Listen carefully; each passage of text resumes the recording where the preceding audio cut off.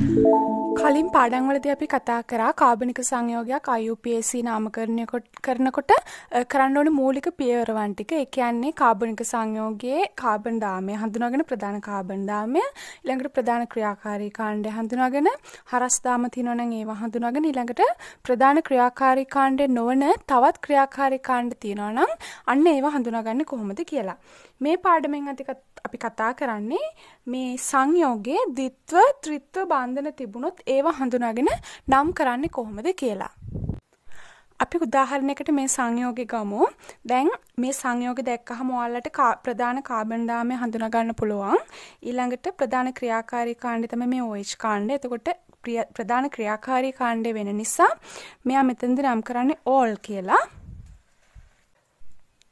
ඊළඟට ප්‍රධාන ක්‍රියාකාරී කාණ්ඩය නොවන තවත් ක්‍රියාකාරී කාණ්ඩයක් තියෙනවා මේ මෙතිල් කාණ්ඩයක්. නේ? එහෙනම් මේ සංයෝගයේ ඊට අමතරව අපි අද කතා කරන ද්විත්ව බන්ධනයක් පිහිටලා තියෙනවා. එහෙනම් මේ ද්විත්ව බන්ධනය පිහිටලා තියෙන්නේ අපි මේකේ අංකණය කරන හැටි දන්නවා. දැන් මේ පැත්තෙන් ඉඳලානේ අංකණය කරන්නේ. එහෙනම් 1 2 3 4 5 මේ විදිහට නෙන්නේ. එහෙනම් දෙවෙනි පළවෙනි කාබන් පරමාණුවට ද්විත්ව බන්ධනයක් සම්බන්ධ වෙලා තියෙනවා. ද්විත්ව බන්ධනයක් ආවොත් නම ඉවර කරන්නේ කොහොමද? ඊන් කියලා. මොකද්ද? ENE ඊන් කියලා. ඒක බන්ධන විතරක් තියෙනවා නම් නම ඉවර වෙන්න ඕනි. ඒක බන්ධන කියන්නේ ඇල්කේන විතරක් තියෙනවා නම් නම ඉවර වෙන්න ඕනි ඒන් කියලා. ද්විත්ව බන්ධන තියෙනවා නම් ඒක ඉවර වෙන්න ඕනි ඊන් කියලා. ඊළඟට ත්‍රිත්ව බන්ධන තියෙනවා නම් අයින් කියලා. හරි. මේක මම නෝට් එකෙත් දාලා තියෙනවා. එතකොට පළවෙනි කාබන් පරමාණුවට ද්විත්ව බන්ධනයක් සම්බන්ධ වෙලා තියෙනවා. එහෙනම් එක ලියලා මේ අතට ඉරක් ගහලා ඊන්. තේරුණාද? මෙන්න මේකයි මේ ද්විත්ව බන්ධනයේ නම. ඔයාලා දැක්කලා ඇති මේ විදිහට පෙන්ට් ඉස්සරහට දාලා පෙන්ට් හරි මොකක් හරි නැත්නම් එත් හරි මෙත් හරි මේ වගේව ඉස්සරහට දාලා මේ ඊන් එකට සම්බන්ධ කරලා තියෙන අවස්ථා.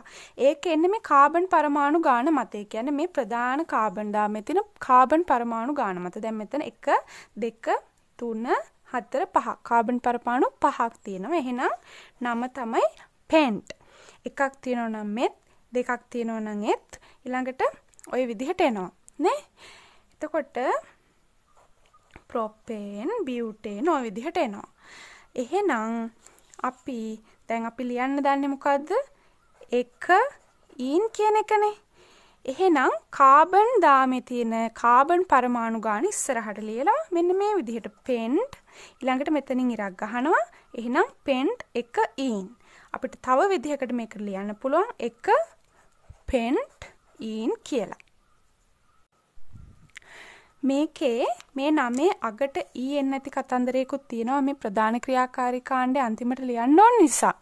මම ඔයාලට මගේ අන්තිම වීඩියෝ එකෙන් මේව ඔක්කොම හදලා අන්තිමට අපි හරිම නම ගන්න විදිහ කියලා දෙන්නම්. දැනට ඔයගොල්ලෝ දැනගන්න මේ දාමයට ද්විත්ව ත්‍රිත්ව බන්ධනයක් තිබ්බොත් කොහොමද දාමේ අංකණය කරන්නේ? මේ දාමේ නම් කරන්නේ කොහොමද කියලා. ඒ කියන්නේ ද්විත්ව බන්ධනයක් තිබ්බොත් නම ඉවර වෙන්නේ ඊන්ගෙන් ත්‍රිත්ව බන්ධනයක් තිබ්බොත් මෙන්න මේ විදිහට.